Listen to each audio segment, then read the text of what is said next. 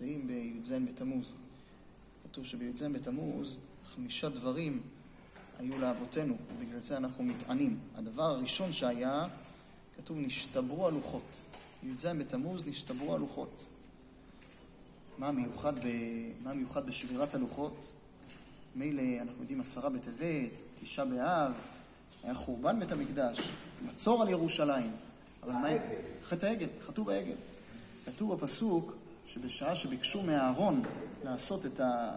לעשות את העגל, אמרו לאהרון, כי זה משה האיש. כן, כתוב שלא ידענו מה היה לו. לא, לא, משה רבנו נעלם, לא נמצא, אז ביקשו מאהרון. מה אמר להם אהרון?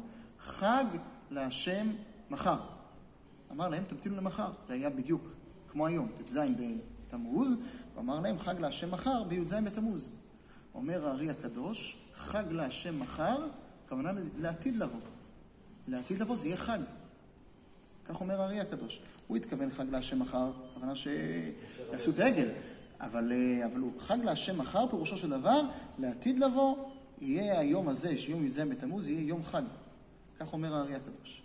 השאלה נשאלת, מה באמת המיוחד בשבירת הלוחות, שמצד אחד אנחנו אומרים שזה גרם לצער, ובגלל זה יש לנו אבלות היום, בי"ז בתמוז, צער וצום, מצד שני אתה אומר שבדיוק היום הזה, זה יום שיהיה חג לעתיד לבוא. איך זה מסתדר שני הדברים הללו? מה המשמעות? למה באמת לעתיד לבוא זה יהיה חג? למה נבחר היום הזה שנשבר בו, שנשתברו הלוחות, יהפך ליום חג? כתוב בסוף חומש דברים, בפסוק האחרון בתורה, כתוב, ולכל היד החזקה, ולכל המורה הגדול, זה כתוב קודם, לא קם נביא בישראל כמשה, לכל האותות והמופתים אשר שלחו השם לעשות בארץ מצרים, פסוק האחרון כתוב, ולכל היד החזקה, ולכל המורה הגדול אשר עשה משה, לעיני כל ישראל. זה הסיום של התורה הקדושה. כתוב, לכל היד החזקה, מה זה היד החזקה? שמשה רבנו קיבל בידיים שלו את הלוחות. ולכל המורה הגדול, זה כל הניסים והנפלאות שהיו במדבר.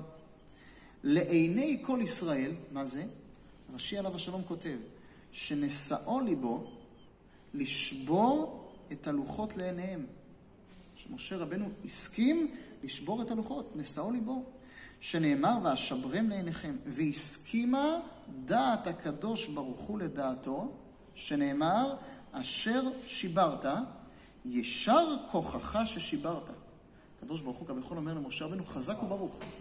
חזק וברוך ששברת את הלוחות. משה רבנו שבר את הלוחות? זה דבר טוב או לא טוב? מצד אחד טוב. מצד אחד טוב, מצד אחד לא טוב. מה טוב, מה לא טוב? כתוב, הגמרא אומרת, שלולי שנשתברו הלוחות, לוחות הראשונות, אם לא היו נשברים, אז אין אומה ולשון יכולים לשלוט בעם ישראל. אף אחד מאומות העולם לא יכול לעשות דבר...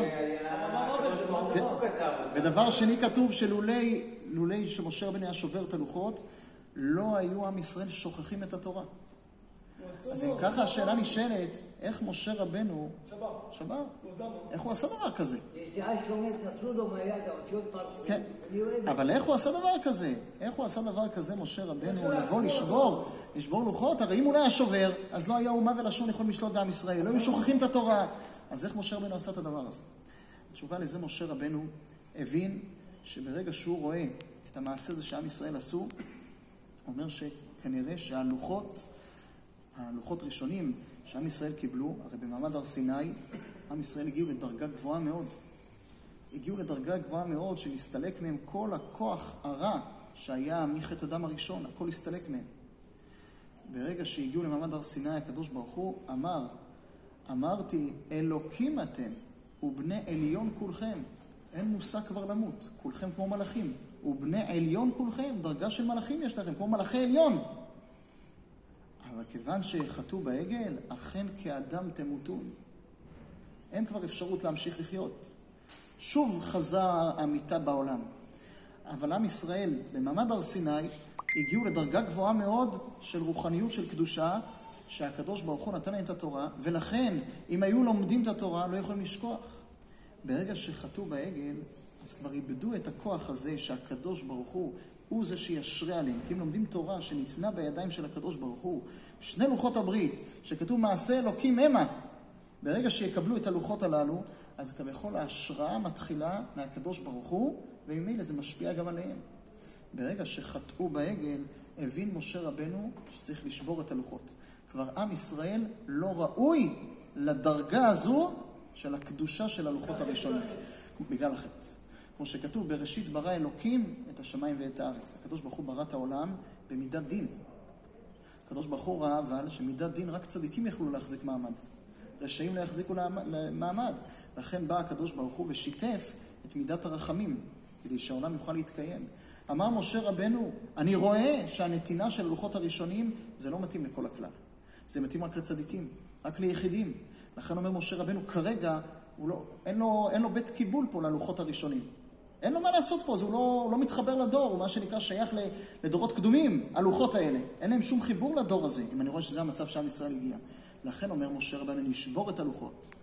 ואז על ידי זה עם ישראל יצטרכו עכשיו לעמול ולהתייגע כדי להבין את התורה הקדושה. כבר לא יהיה להם את אותו דרגה כמו הלוחות הראשונים שלא שוכחים את התורה. ועל ידי שיעמלו ויתייגעו בתורה, אז הם יצליחו להגיע לדרגה של מלאכים. זאת אומרת, זה צריך לבוא מהם, על ידי התורה הקדושה. המאור שבתורה מחזיר את האדם למוטב. זאת אומרת, בהתחלה זה היה, הלוחות הראשונים, זה התחיל מלמעלה, מהקדוש ברוך הוא, והשפיע למטה על הבני אדם, שיוכלו בקלות לדעת את כל התורה, כי אדם שלומד מפיו של הקדוש ברוך הוא לא שוכח. הרי המלאך שמלמד את התינוק בבטן אמו, הוא לא שוכח שום דבר עד שהוא לא נותן לו את המכה. אם הוא פספס ולא נתן לו את המכה, אז הוא זוכר את הכל. למה הוא זוכר את הכל? כי ברגע שזה מגיע מלמעלה, אז זו תורה מיוחדת, זו תורה נקייה. אבל ברגע שחטאו, אז זה לא מלמעלה למטה. זה צריך להתחיל מלמטה כלפי מעלה. על ידי שיעסקו בתורה, יהיו עמלים בתורה, אז זה עולה למעלה. לכן הקדוש ברוך הוא אומר למשה רבנו, ישר כוחך ששיברת. שרק בזכות זה ששברת, עכשיו עם ישראל יעמלו ויתייגעו בתורה, יצליחו מה? להגיע לאותו דרגה, כמובן עמל שלהם, לאותו דרגה שהיה בלוחות הראשונים, אבל רק על ידי עמל ויגיעה, כבר זה לא מגיע להם במתנת חינם. ולכן הלוחות השניים, מתי משה רבנו קיבל את הלוחות השניים? ביום הכיפורים. מראש חודש אלול עד יום הכיפורים, משה רבנו היה בשמיים. בא לקבל את הלוחות השניים, 40 יום. עם ישראל שחטאו בעגל, ככה מובא בראשונים, למעשה לא הייתה להם מטרה לחפש מישהו אחר. הם פשוט מאוד חשבו שמשה רבנו, יש לו כוחות אלוהיים. חשבו שגם הוא משהו מיוחד. זאת אומרת, יש את הקדוש ברוך הוא, ויש מה שנקרא חלילה הסגן שלו. משה רבנו, כן, יפה מאוד. חשבו שהוא בדרגה גבוהה מאוד, לא הבינו שבעצם הכל זה הקדוש ברוך הוא, והוא רק שליח שמעביר את המסר לעם ישראל. ממש האמינו בו, וזה מה שהם אמרו לאהרון הכהן. כי זה משה האיש. מה זה זה משה האיש? כל מקום שנאמר איש, זה הקדוש ברוך הוא שנאמר, השם איש מלחמה.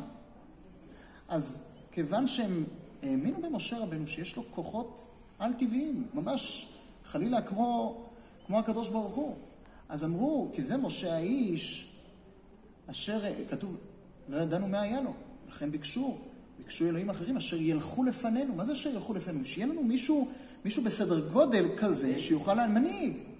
מנהיג גם כי הם בכלל לא הבינו שיש פה איזשהו מישהו שמתווך בין הקדוש ברוך הוא לעם ישראל, הבינו שיש פה משהו. לכן משה רבנו באסה, לקח ושבר את הלוחות. הוא אומר להם, תדעו לכם, אני סך הכל מתווך. הלוחות האלה זה לוחות שמגיעים מהקדוש ברוך הוא, זה לא הקדוש ברוך הוא בכבודו ובעצמו, זה רק תיווך שאני עושה בין הקדוש ברוך הוא לביניכם. ועם ישראל שהפנימו את זה, קלטו את זה, הבינו שבעצם משה רבנו רק בא שליח לעם ישראל. לבוא להדריך אותם ולהעביר להם את המסר מהקדוש ברוך הוא, אז קיבלו על עצמם חזרה בתשובה. חזרה בתשובה מראש חודש אלול עד ערב, עד, עד יום הכיפורים.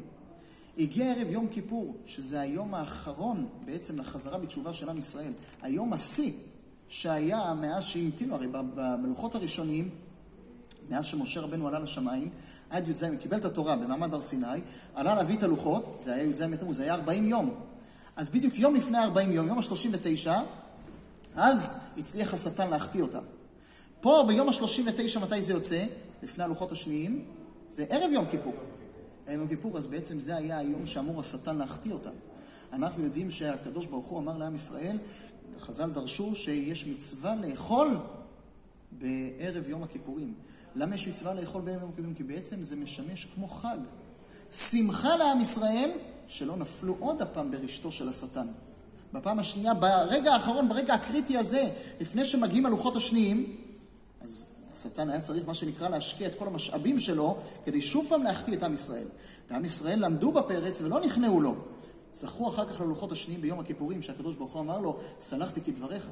אז לכן זה אחד הסיבות שאנחנו אוכלים ביום, בערב יום כיפור. למה אוכלים ביום כיפור? זה יום של שמחה. לכן בעצם כל השבירה של הלוחות, בעצם כתוב אה, לוחות ושברי לוחות מוכנים, מונחים בארון. למה?